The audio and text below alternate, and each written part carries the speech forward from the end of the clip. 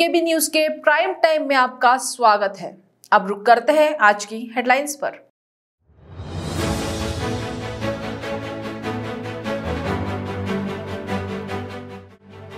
शहर में 9 बजे के बाद बंदिशें फिर लागू। क्रिसमस और नव वर्ष समारोह पर भी रहेगी बंदिशें लागू।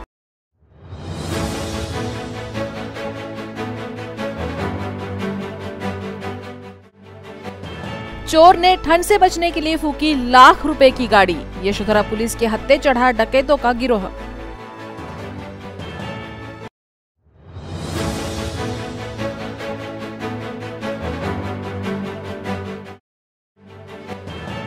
और आज शहर में फिर बढ़े कोरोना संक्रमण के आंकड़े। एक दिन में मिले 24 पॉजिटिव मरीज़।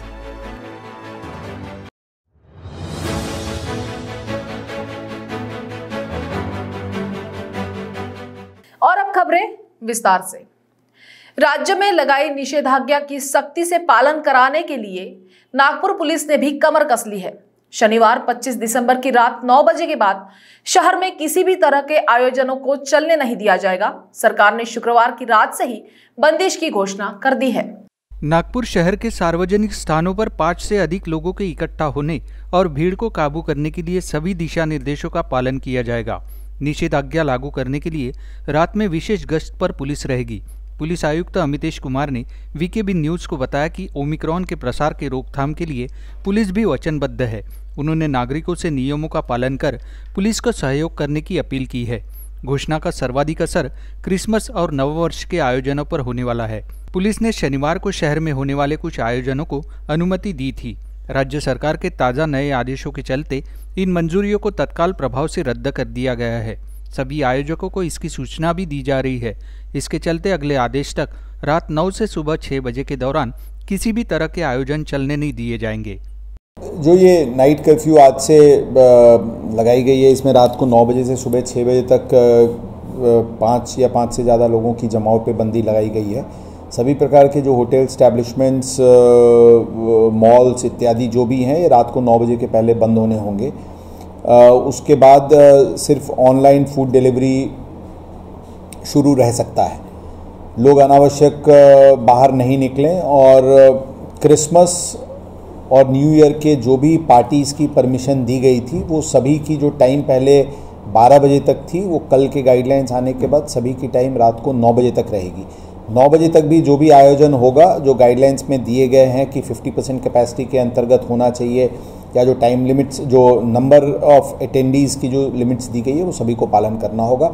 एकंदरित कोविड की जो बढ़ती हुई प्रमाण है शहर में और राज्य में और दूसरे जगह पे, उसको ध्यान में रखते हुए निर्बंध लोगों को पालन करना आवश्यक रहेगा और उसके लिए पुलिस यंत्रणा इन्फोर्स करने के लिए पूरी तरीके से तैयार है। मैंने बताया जो भी प्रोग्राम्स पहले, जैसे 2019 में सुबह तीन, चार बजे तक की परमिशन थी अभी कल के पहले जो इस्टेब्लिशमेंट्स को 12 बजे तक की टाइम थी, वो सभी को अब मॉडिफाई करके रात को 9 बजे तक की ही इस्टेब्लिशमेंट्स को परमिशन रहेगी। कोई भी, जो भी hotels restaurants eating houses establishments दुकानें सभी को बंद होने की टाइम 9 बजे की रहेगी। 9 बजे के पहले सभी सभी कुछ बंद हो जाएँगे। नागपुर के यशोधरा पुलिस स्टेशन के तहत लूटपाट चोरी कर डाका डालने वाले ऐसे गिरोह को धर दबोचा है जिनसे 10 चोरी की वाहन बरामद किए गए हैं। इन 10 दुपहिया वाहनों में से एक वाहन जला हुआ है जो एक चोर ने ठंडी से बचने के लिए जला दिया जो पुलिस के डर से फरार हो गया था। चोर तो आपने कई देखे होंगे और चोरी की घटनाएँ भी आपने कई सुनी होगी। लेकिन केवल ठंडी भगाने के लिए किसी दूसरे की चोरी की हुई लाखों की गाड़ी जला देना, ऐसी घटना आज तक आपने सुनी नहीं होगी। स्क्रीन पर दिखाई देने वाली ये वही जली हुई गाड़ी है, जो करीब सवा लाख रुपए की है, और चोर ने पुलिस से भागते हुए इसे महज इसलिए जला दिया कि चोर को ठंडी लग रही थी। इस बात का खुलासा खुद चोर के पकड़े जाने पर हुआ। दिनांक सत्रह तारीख यही बारह महीने में हम लोग शाम को, रात को घूम रहे थे। तो एक पता चला कि कई लोग हैं जो चोरी करने के लिए, दरोड़ा डालने के लिए इकट्ठा हुए हैं। हम लोगों ने वहाँ पे रेड करी, उसमें से तीन लोग अरेस्ट हुए और चौथा को दूसरे दिन हमने पकड़ा। और उसमें से एक अभी भी फरार है। उन लोगों से हमने, उसमें से जो छोटा सरफराज है, उससे दस गाड़ियाँ बरामद की है। नौ गाड़ी साबुत है, दसवीं गाड़ी पूरी जली हुई है। हमने उसका रीज़न उनको पूछा कि इसका क्या हुआ। तो उसने बताया कि पुलिस से डरते हुए हम खेत में छुपे थे, बहुत ठंड थी तो मैंने वो जला के सिक्योरिटी किया है। तो पूरी उसका चीसिस नंबर इंजन नंबर ऐसा कुछ भी नहीं दिखा अभी तक उसका नहीं मिला है। तो ये इनकी मानसिकता है। उसमें जो जो पांचवा फरारी आरोपी है, सैयद निज़ाम सैयद आसिफ, सैयद निज़ाम करके तो उसने उसको जो हमने पकड़ने के लिए बहुत भरकम कोशिश कर रहे हैं तो उसने एक वीडियो हमें भेजा है कि हमारी हालत क्या हुई है, इंसान की हालत क्या हुई है करके एक वीडियो भेजा है कि बहुत भागते हुए खेत में का वीडियो है कि हमारी हालत बहुत बुरी तरह से ये सिंपत्ति लेने का प्रयास है। ऐसे ये उम्र के जो लड़के हैं, जो 24-25 साल के हैं, उनके ऊपर शरीर के विरुद्ध के बहुत सारे छः छः सात सात गुने दाखिल है। तो उनके माँ बाप को और ऐसे गुनेगार लोगों के माँ बाप को मैं ये कहना चाहता हूँ कि आपके भले ही वो सुनते नहीं हो, लेकिन पुलिस को आपने खुद आगे आकर ये न्यूज़ देनी चाहिए। अपना, अपने लड़के को वो गुनेगारी प्रवृत्ति से हटाने के लिए आप अगर मदद करना चाहते हो, मदद चाहते हो तो पुलिस सदैव तत्पर है। और ऐसे समाज विघातक कार्य करने के लिए उनको कोई भी जमानत और कोई भी सपोर्ट ना करे। बहरहाल पुलिस ने इस मामले में चार आरोपियों को गिरफ़्तार कर लिया है, जबकि पाँचवें आरोपी की तलाश यशोधरा पुलिस विभाग कर रहा है। नागपुर से रोशन बोकड़े, वीकेबी न्यूज़ के लिए। नागपुर में शनिवार 25 दिसंबर को 24 मरीज़ कोरोना संक्रमित पाए जाने से एक बार फिर शहर वासियों के लिए ये चिंता का विषय बन गया है। वहीं आज मौत का आंकड़ा शून्य पर रहा, जो नागपुर वासियों के लिए कहीं ना कहीं राहत की बात है। वहीं आज दो मरीज़ कोरोना मुक्त भी हुए हैं। नागपुर में कुख्यात चंगीराम गोसाई की अंतरराज्यीय चड्डी बनियान गैंग क्राइम ब्रांच के हाथ लगी है। पुलिस ने इस गैंग के चार सदस्य और तीन मददगारों को गिरफ़्तार कर सफलता पाई है। मिली जानकारी के मुताबिक चंगीराम करीब तीन दशक से अपराध में सक्रिय है। नागपुर में ही उसके खिलाफ एक दर्जन मामले दर्ज है। इसलिए उसकी गैंग के खिलाफ मकोका की कार्रवाई की जाने वाली है। पुलिस की निगरानी बढ़ने पर चंगीराम एमपी चला जाता है। उसका पूरा कुंबा अपराध में लिप्त है। उसकी गैंग ने उमरेट कुही में वारदात को अंजाम दिया है। पुलिस के हथकंडे पता होने से उसके साथी मुँह नहीं खोलते हैं। यह गिरोह वारदात के दौरान क्रूरता भी दिखाता है। विरोध किए जाने पर किसी भी स्तर पर चला जाता है। वारदात में विरोध नहीं होने पर भी उन्होंने तीनों में से दो वारदात में मारपीट की है। यह गिरोह आरंभ से ही अपराध करता आया है। वारदात के पहले और बाद में हुआ टोटके भी करने की जानकारी सामने आई है। 29 नवंबर और 3 दिसंबर को काटोल मार्ग के दाभा और 13 दिसंबर को बेलतरोड़ की शिवन गाँव में चड्डी बनियान गैंग ने वृद्धा सहित तीन परिवार को मारपीट कर लूट लिया था। क्राइम ब्रांच ने डीसीपी चिन्मय पंडित के नेतृत्व में जाँच शुरू की। बेलतरोडी के घटनास्थल परिसर के सीसीटीवी की जाँच करते हुए पुलिस संविधान चौक पहुँची। पुलिस को डकैतों के साथ ही विधान भवन परिसर, RBI Chowk, Kasturjan park, railway station तथा रामझूला के पास फुटपाथ पर गुजर बसर किए जाने का पता चला। पुलिस ने संदिग्धों के फ़ोटो निकाले तो एक आरोपी पर संदेह हुआ। पड़ताल में उसके गैंग का मुखिया चंगीराम गोसाई होने का पता चला। इसकी भनक लगते ही चंगीराम साथियों सहित फरार हो गया। पुलिस ने उसकी खोज में पहले साची तथा बाद में इलाहाबाद में दबिश दी। वहाँ गरु निर्मल रोहित तथा पिंटा धरे गए। उनसे पूछताछ के बाद वाहन चालक हरि आसोले, सराफा संदेश रोकड़े तथा प्रवीण कानोले को गिरफ़्तार किया गया। बताया जा रहा है कि यह गैंग कई राज्यों में फैली हुई है। गेल्या दोन तीन महिन्यांमध्ये नागपूरच्या जे आउटस्कट्स आहेत बाहेरील भाग आहे जसं दाभा असेल हुडकेश्वर असेल बेलतरोडी असेल ज्या एरियामध्ये घरं ही थोडीशी विखुरलेल्या परिस्थितीमध्ये असतात तर अशा घरांमध्ये जे आउटस्कट्स अगदी रिमोट असे घरांना टार्गेट करून सात आठ लोक एकत्र घरात घुसून ज्या घरांमध्ये विशेषतः ज्येष्ठ नागरिक महिला वगैरे असतील असे घरं टार्गेट करून त्या घरांमध्ये मोठ्या प्रमाणावरती चोरी करण्याचे प्रकार वाढले होते. असे तीन मोठे दरोड्याचे गुन्हे हे आपल्या इथे दाखल झाले होते. ही माहिती मिळताच क्राईम ब्रांचचे युनिट टूची टीम आणि क्राईम ब्रांचचेच घरफोडी पथक आहे. तर ह्याच्यामधले सर्व आमचे अधिकारी व कर्मचारी हे कामाला लागले. आणि अथक परिश्रम घेऊन त्या त्या ठिकाणचे सी सी टी व्ही कॅमेरे असतील किंवा मोबाईल रेकॉर्ड्स असतील किंवा इतर काही ह्युमन इंटेलिजन्स आहेत अशा सगळ्यांची ती माहिती घेऊन त्यांनी एक म एक चंगीराम म्हणून जो ज्याच्यामधला मेन आरोपी आहे त्याच्यावरती आमचा फोकस झाला. आणि मग त्याचा माग काढायला सुरुवात केली. तर त्याच्यात असं लक्षात आलं की चंगीराम आणि त्याची जी सर्व कुटुंब आहे हे सर्व मिळून अशा प्रकारच्या घटना करत असतात. आणि ते मूळत एम पीमधल्या भोपाळजवळच्या एका खेड्यामधले राहणारे आहेत. या या इन्फॉर्मेशनवरती आम्ही जेव्हा तिथे पोचलो तेव्हा तिथून त्यांनी पळ काढलेला होता. आमच्या टीमला ते काही हाती लागले नाही. मग तिथं पुढून मग ते प्रयागराज येथे या ठिकाणी गेले. आणि त्या ठिकाणी मात्र त्यांना रात्रीच्या वेळी एक स्पेशल ऑपरेशन त्यांनी केलं. आणि त्या स्पेशल ऑपरेशनमध्ये चार लोक आमच्या ताब्यात लागली.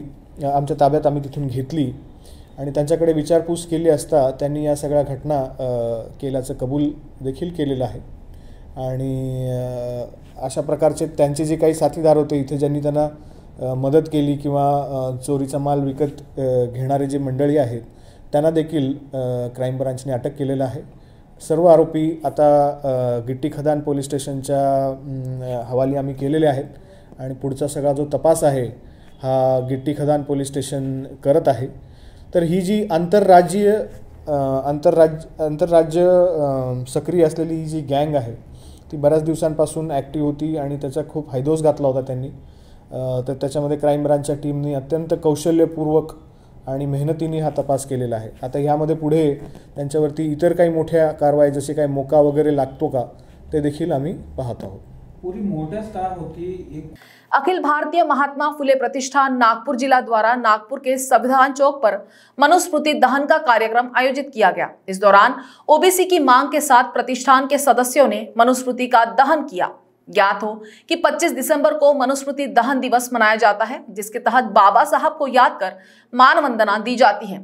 संविधान चौक पर भी कार्यक्रम के दौरान आयोजकों ने ओबीसी आरक्षण का मुद्दा वीकेबी न्यूज़ के समक्ष रखा। गौरतलब है कि 25 दिसंबर 1927 को महाड़ सत्याग्रह के दौरान बाबा साहेब आम्बेडकर ने मनुस्मृति का दहन किया था, जिसके पीछे की वजह शूद्रों की तुलना जानवरों से भी गई बीती करने का कारण था। वही महिलाओं को मनुस्मृति में कोई जगह नहीं दी गई थी, जिसके कारण एक पुस्तक प्रेमी रहते हुए मनुस्मृति ग्रंथ का बाबा साहब ने दहन किया था। और अपने समाज को एक नई राह दिखाई थी। इसी कड़ी में चौरानबे वर्षों बाद भी अम्बेडकरवादी बड़ी संख्या में देश भर इकट्ठा होकर मनुस्मृति का दहन करते हैं, जबकि महिलाएँ स्त्री मुक्ति दिवस के तौर पर इसे मनाती है। नागपुर के संविधान चौक पर बड़ी संख्या में अखिल भारतीय महात्मा फुले प्रतिष्ठान द्वारा मनुस्मृति दहन दिवस, मनुस्मृति का दहन किया गया। जी, आज यहाँ पे मनुस्मृति दहन दिवस संपन्न करने के लिए हम यहाँ पे आ गए मेरा नाम है प्राध्यापक दिवाकर गमे। महात्मा फुले समता परिषद का मैं विभागीय अध्यक्ष हूँ और हमारे समता परिषद संस्थापक अध्यक्ष है माननीय नामदार छगनराव जी भुजबल साहब, जो फुले शाहू आम्बेडकर के विचारों के प्रतीक है, उनके आचरण में लाते हैं, उनके विचारों पे चलते हैं और डॉक्टर बाबा साहब आम्बेडकर का जो विचार है, यही विचार सर्वहारा है और समाज को उन्नत करने वाला है, ऐसी उनका विश्वास है, हमारा भी विश्वास है और उसी उसी विश्वास के साथ आज हम मनुस्मृति जलाने के लिए यहाँ पे आए अभी उन्नीस सौ सत्ताईस साल में चौरानवे साल के पहले डॉक्टर बाबा साहब अंबेडकर ने मनुस्मृति जलाई थी। क्यों जलाई थी? इसलिए वो जलाई थी कि उस मनुस्मृति में महिला हो, दलित हो बागा समाज का हो, उसके ऊपर अनवणित अत्याचार किए महिला, वो ब्राह्मण समाज की हो या दलित समाज की हो और समाज की हो, उसको शिक्षा का कोई अधिकार नहीं था। इसके विरुद्ध में वो उन्होंने बंड किया था। सावित्रीबाई फुले, इन्होंने शिक्षा का अधिकार महिलाओं के देने के लिए क्या क्या झेले मैं ये इसमें कह नहीं सकता, आपको सबको मालूम है। डॉक्टर बाबा साहब अंबेडकर ने इसलिए मनुस्मृति जलाई थी। शिक्षा को अधिकार दिया था, संविधान लिखा सबको समान अधिकार दिया। लेकिन आज चौरानवे साल के बाद भी हम देखते हैं कि यहाँ की जो भाजपा सरकार है यहाँ की जो केंद्र की सरकार है, महाराष्ट्र के विरोधी पक्ष नेता जो भाजपा के हैं, वो इस आड़ से ओबीसी के अधिकार छीन रहे हैं, दलितों के अधिकार छीन रहे हमारे एस सी समाज के अधिकार छीन रहे और मनुस्मृति का पुनर्स्थापना कर रहे उसका विरोध करने के लिए और समाज को बताने के लिए नहीं, अभी भी मनुस्मृति जीवित हो रहे है, उसको जलाना चाहिए, इसलिए हम यहाँ पे आए ओबीसी को आरक्षण मिलना चाहिए। जब तक आरक्षण मिलता नहीं, तब तक यहाँ की कोई भी चुनाव हम नहीं देंगे। और यही जताने के लिए, ये ये भाजपा सरकार को धर्मांध सरकार को, कि अभी भी चौरानवे साल के पहले डॉक्टर बाबा साहब अंबेडकर जो मनुष्य जलाए, आज भी हम उसके पाइक है, आज भी हम खुले हमसे जलाते हैं। इसलिए आज हमने यहाँ पे मनुस्मृति जलाई है और सबको है कि जागते रहिए, मनुस्मृति फिर से आ रही है, इसको हमको बार बार जलाने का है। परम पूज्य डॉक्टर बाबा साहब अंबेडकर संविधान जो है, जो हमको दिया है, वो हमको बचाना है सर्च का इसलिए हमने यहाँ पे मनुस्मृति जलाई है और यहाँ पे सब लोग आए थे और उन्होंने मनुस्मृति जलाने में भाग लिया। इस, इसी कारण में हम यहाँ पे हुए वक्त हो चला एक ब्रेक का, मिलते एक छोटे से ब्रेक के बाद। बाय सब जानना चाहते हैं। मेरा फेवरेट कलर मेरा फेवरेट डेस्टिनेशन मेरी फेवरेट डिश पर कोई ये नहीं पूछता कि फेवरेट डिश मैं बनाती कैसे हूँ। अरे यार। जिसे टेस्टी खाना पसंद है वो अच्छे टेस्ट तक पहुँच ही जाता है। सुरुचि मसाले। खाने में हो रुचि तो घर लाइए सुरुचि। अपने सपनों की उड़ान भरने की इच्छा तो हर किसी की होती है। पर पंख भी तो मज़बूत होने चाहिए। जो देता है Flywheel aviation academy Flywheel aviation academy एक ऐसा इंस्टीट्यूट है जहाँ पर एयरलाइंस एंड एयरपोर्ट हॉस्पिटैलिटी और टूरिज़्म मैनेजमेंट साथ ही यहाँ campus interview guidance by industry expert practical training at airport expert faculty personal grooming जैसे कई सारे बेनिफिट आप पा सकते हैं। Flywheel aviation academy one degree three job opportunities Flywheel aviation academy gives you a degree और diploma with a job Flywheel aviation academy 365 Gandhinagar L LAD college square decide Karnataka bank Nagpur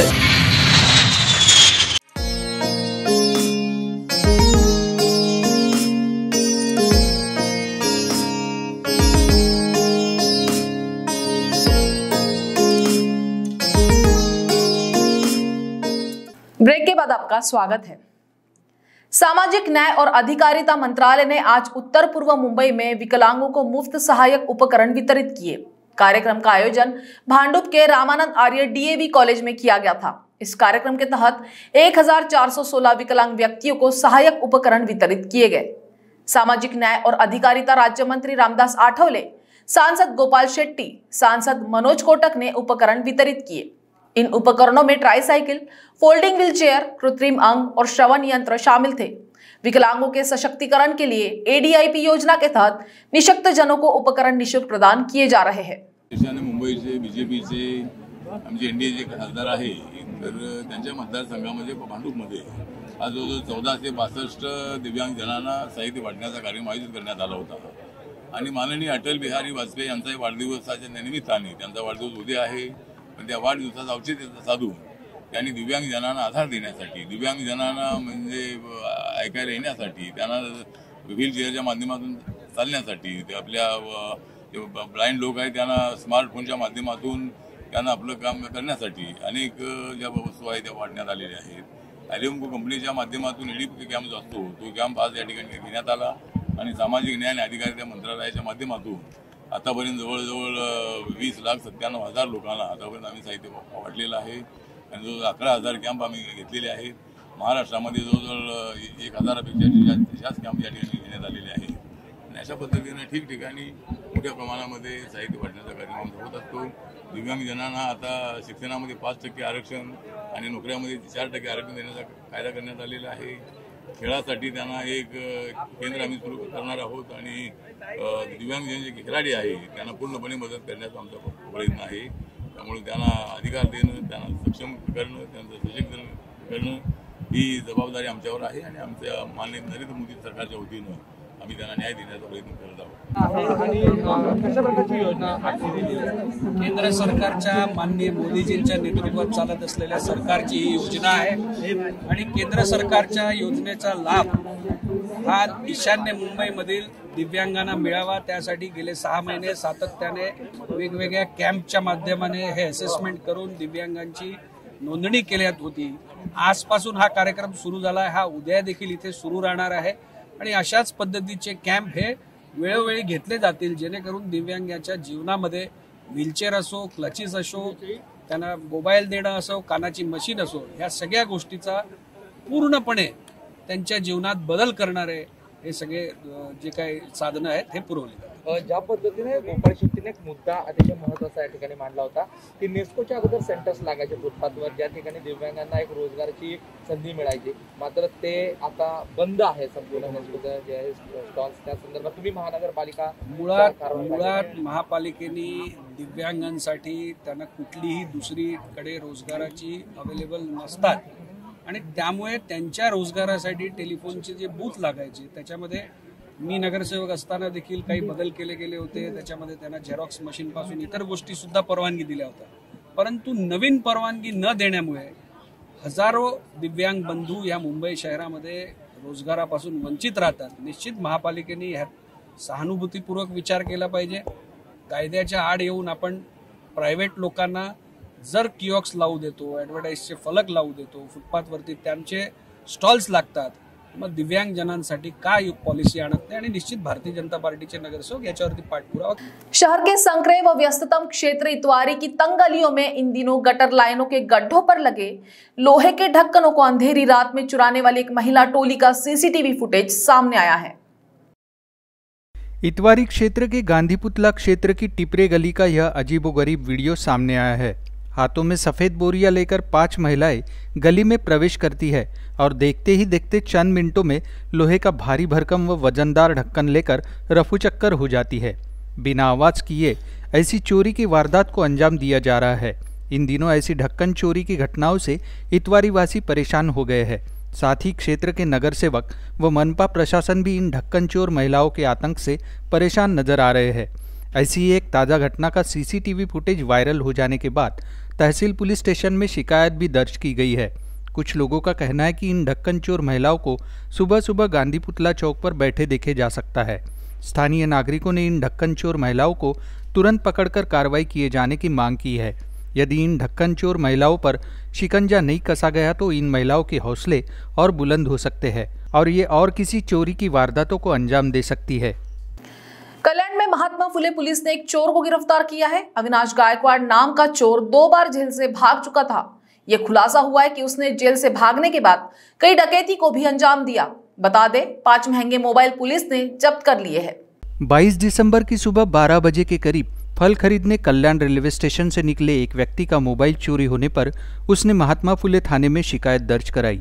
कल्याण के ACP Umesh माने पाटिल के मार्गदर्शन में मामले की जाँच के लिए महात्मा फुले चौक थाने के वरिष्ठ पुलिस द्वारा विशेष जाँच दल का गठन कर जाँच शुरू की। सूचना के आधार पर पुलिस ने एसटी स्टैंड पर जाल बिछाकर एक युवक को गिरफ़्तार कर लिया, जिसके बाद मिली जानकारी से पुलिस को आधारवाड़ी जेल से फरार अविनाश गायकवाड़ को भी अपने गिरफ्त में लिया। बता दें कि आधारवाड़ी जेल से फरार होने के बाद उसने मोबाइल चोरी का धंधा शुरू किया। पुलिस ने उसके पास से पाँच मोबाइल फ़ोन बरामद किए हैं। अविनाश कुछ साल पहले सोलापुर जेल से फरार हुआ था। उस समय उसे गिरफ़्तार कर लिया गया था। अविनाश के खिलाफ राज्य भर में कुल पंद्रह मामले दर्ज किए गए हैं। पुलिस आगे की जाँच कर रही है। या पोलीस स्टेशनला महात्मा पोलीस स्टेशनला बावीस, बारा, एकवीस रोजी एक गुन्हा दाखल आहे आठशे साठ अब्लिक दोन हज़ार एक, एकवीस मोबाईल जबरी चोरी प्रकरणामध्ये गुन्हा दाखल झाला. त्या गुन्ह्याच्या डी बी पथकाचे पोलीस निरीक्षक प्रदीप पाटील आणि त्यांचं पथक यांना योग्य त्या सूचना दिल्या. त्या सूचनाप्रमाणे गुन्ह्याचा तपास करून याबाबत आरोपीची माहिती काढण्यास सांगितले फुटेजवरून वगैरे. मिळालेल्या माहितीप्रमाणे स्टेशन परिसरामध्ये कल्याण रेल्वे स्टेशनच्या पश्चिम रेल्वे परिसरामध्ये सापळा लावला असता एक इसम एस टी स्टँड परिसरामध्ये रात्री बावीस पंचेचाळीसच्या सुमारास संशयितरित्या आढळून आला. त्याला कुठलीही संधी न देता त्याला ताब्यात घेतलं. त्याच्याकडे विचारपूस करता तो उडाउडीचं उत्तर द्यायला लागला.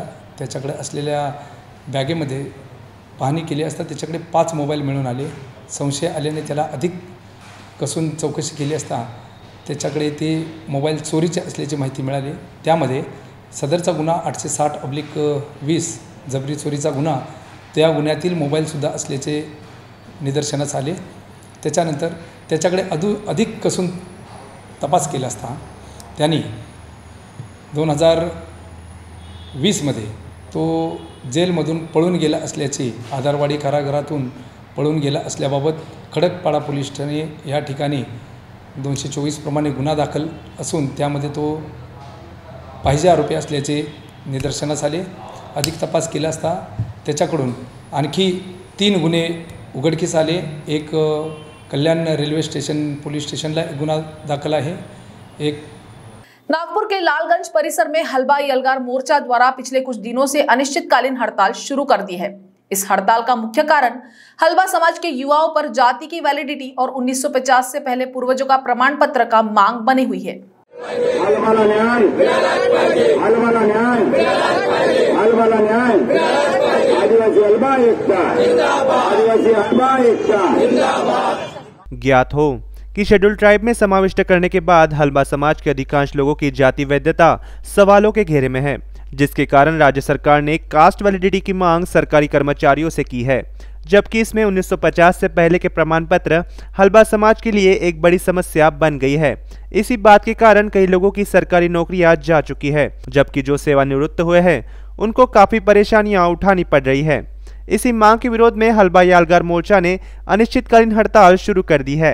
कि हमारा हलवा एलगार का जो महामोर्चा 22 तारीख को मुंबई पर हम लेकर गए थे, हज़ारों की संख्या में, इसकी अभी तक कोई भी दखल इस केंद्र और राज्य सरकार ने नहीं ली है। वैसे ही यह लालगंज झाड़े चौक पर पिछले पाँच दिनों से अनिश्चितकालीन अनशन को शुरुआत की गई है। इस अनशन में माननीय रविभाव पवनीकर, माननीय मेरे छोटे बंधु रवि जी पराते, वैसे ही पंकेश जी निमजे दुर्गेश जी पारखेड़कर मिथुन जी निमजे यह सब अनिश्चितकालीन अनशन पर पिछले पाँच दिनों से बैठे हुए हैं। इसकी भी दखल इस केंद्र और राज्य सरकार ने अभी तक ली नहीं है। हमारे हलवा जमात के जो युवा है, जो पढ़ाई लिखाई कर रहे हैं, उनको जाति का दाखला और वैधता प्रमाण पत्र इसके लिए हमें 1950 के पहले के कागज़ मांगे जा रहे हैं। यह योग्य नहीं है।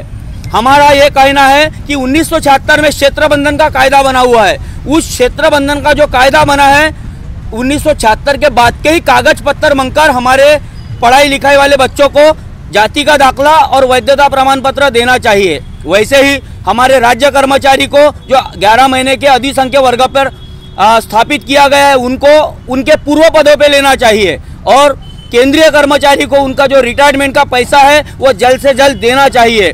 मैं इस केंद्र सरकार को, इस राज्य सरकार को तो प्राइम टाइम न्यूज़ में आज इतना ही। आपसे कल फिर मुलाकात होगी। तब तक देखते रहिए वीकेबी न्यूज़ नमस्कार।